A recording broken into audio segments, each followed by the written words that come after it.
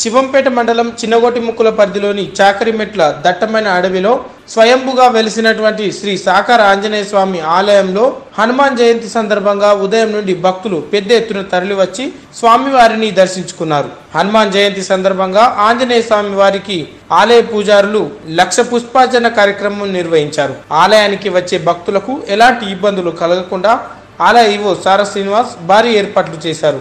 ఉదయం నుండి స్వామివారికి చందనాభిషేకం సత్యనారాయణ స్వామి వ్రతాలు మన్యసూక్త పారాయణం ఆలయ పండితులు నిర్వహించారు. అదేవిధంగా భక్తులకు అన్నదాన కార్యక్రమం నిర్వహించారు. ఈ కార్యక్రమంలో ఆలయ పూజారులు ఆలయ ఫౌండర్ చైర్మన్ ఆంజనేయ శర్మ దేవదత్త శర్మ ప్రభు శర్మ దేవి పంతులు ఆలయ సిబ్బంది రామకృష్ణ శ్రీనివాస్ ప్రకాష్ భక్తులు అధిక సంఖ్యలో పాల్గొన్నారు.